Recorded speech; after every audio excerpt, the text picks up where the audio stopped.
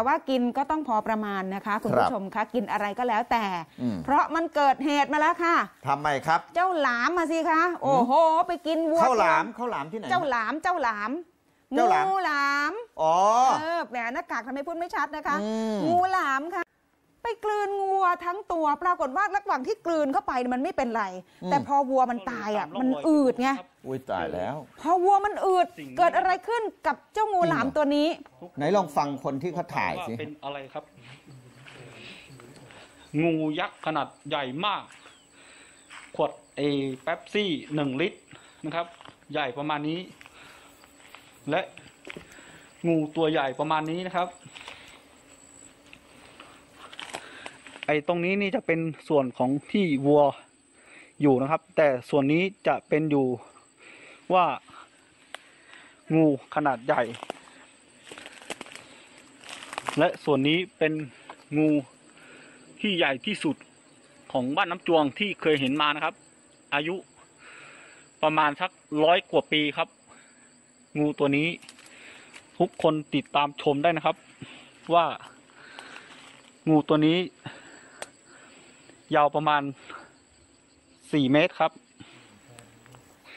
นี่แหละค่ะ ก็เหตุการณ์ที่เกิดขึ้นจริงนะคะ ที่จังหวัดพิษณุโลกนะคะ อย่างที่จริงเหรอ พี่เขาพูดบ้านน้ำจวง อยู่ที่ตำบลบ่อภาคอำเภอชาติตรการนะคือคะ ตอนที่แกไปเห็นเนี่ย งูอยู่ในสภาพที่สตายแบภาพบนี้ตายแล้ว แล้ว ท้องแตกตาย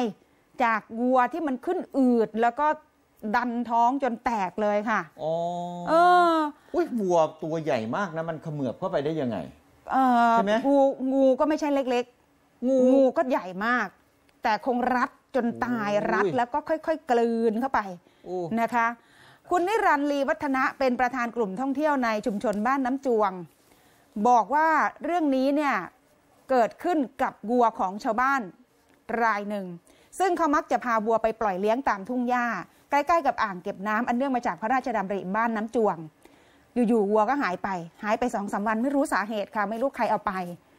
พยายามหารอบๆแล้วก็ไม่เจออแต่ไปเจอเจ้างูหลาม ซึ่งตัวพองใหญ่มากอืมแล้วท้องก็มีรอยแตกๆด้วยนะคะ ครับ ก็เลยเห็นว่าข้างในเนี่ยคือซากวัว ซากวัว ใช่ ชาวบ้านก็เลยสันนิษฐานว่ามันมันคงค่อย ๆ กลืนหลังจากที่มันรัดวัวจนตายแล้วอืมค่อย ๆ กลืนเข้าไปกลืนเข้าไปโดย ไม่ทันคิดว่าอืมสัตว์ตัวใหญ่ขนาดเนี้ย เวลามันอืดอะอืมันก็คงจะอืดดันออกมาอะไรอย่างเงี้ยมันย่อยไม่ทันอืดอะพูดง่ายอืมๆเออ โอ้ยไม่น่าเชื่อเนาะแล้วกินทั้งตัวเวลาเวลาเขาเน่าเขาอะไรแล้วเขาก็แบบเนาะเออคือเออขนาดวัวทั้งตัวยังสามารถถูกเขมือบไปได้ เพราะฉะนั้นโอ้โหท่านผู้ชมที่ชอบแอดเวนเจอร์ตำป่าเขานะครับโอ้โหแล้วก็อุ้ยชอบนอนตำป่าโอ้โหเออ ท่านก็ระวังระวังคุณนิดก็นึงพูดนะครับซะอืมกลัวว่ามันจะเลื้อยมาใกล้ ๆ เสร็จเออแล้วก็ค่อยๆเขมือบเราเข้าไปเออนะครับ เอ๊ะเราก็จะรู้สึกว่าเอ๊ะทำไมมันมืดๆนะเออ ว่าไปนะแต่ฮะเขาเขาเป็นสัตว์ผู้ล่าเนาะสัญชาตญาณก็คือเขาจะรัดให้ตายก่อนครับอ่าโอ้อ๋ออย่าเพื่องนั้นที่จะใช่กไหมลืนใช่ค่ะเขาไม่แล้วค่กิอยนมีการเขมือบทีหลังอืม